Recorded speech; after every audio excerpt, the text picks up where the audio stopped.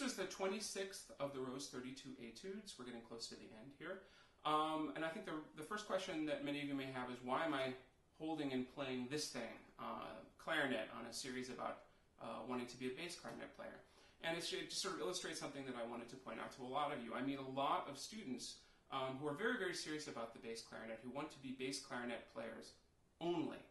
And in this world, I, I am here to tell you that um, in order to just play the bass clarinet for a living, um, it's going to be really, really difficult because you really also have to play the clarinet well. If you want to play in an orchestra, if you want to have a well-rounded musical life, forget about orchestra.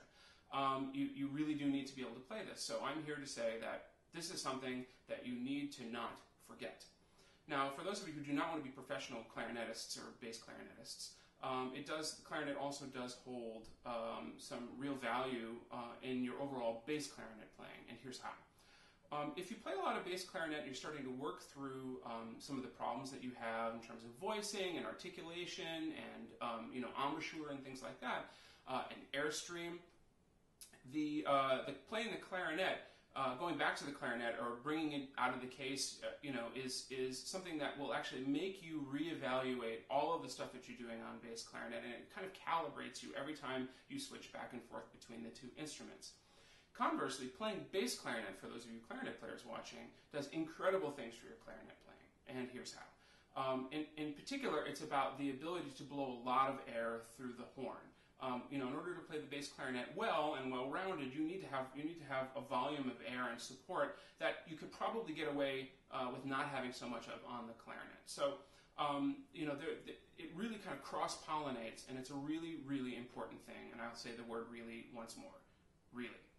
So, about this etude, I uh, just want to point out uh, one real particular thing that uh, that I look at when I'm when I'm playing it. This is again one of these pieces that's pretty much a constant stream of 16th notes. And if you were to just sort of play all the way through it uh, and not break it into bite-sized pieces, both your fingers and the music will suffer.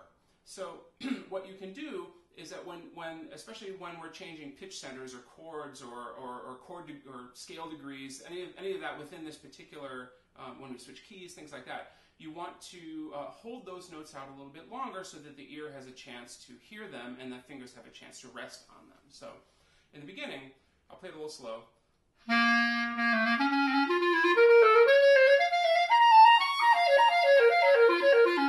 We're all still in C minor. Now the music does that for you automatically there. You have that held quarter note.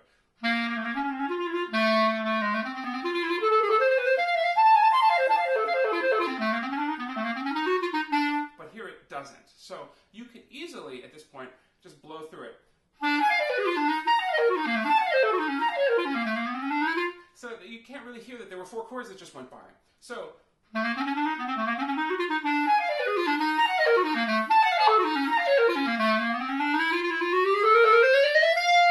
So holding them just a little bit really does help you play it better most of the time.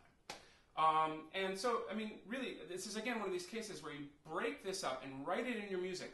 Um, where these different things where you want to hold certain notes, circle them. Show yourself where these chords change, right? So listen very, very carefully to that so that you can bring it out when you play it. Now, this again is not a piece that you're going to perform, but this is a really good exercise for you when you're doing pieces that, that do this in, in real life, okay? So, um, but most importantly, pull that clarinet out and give it some love because um, it'll love you back. All right? Hope this was helpful. See you next time.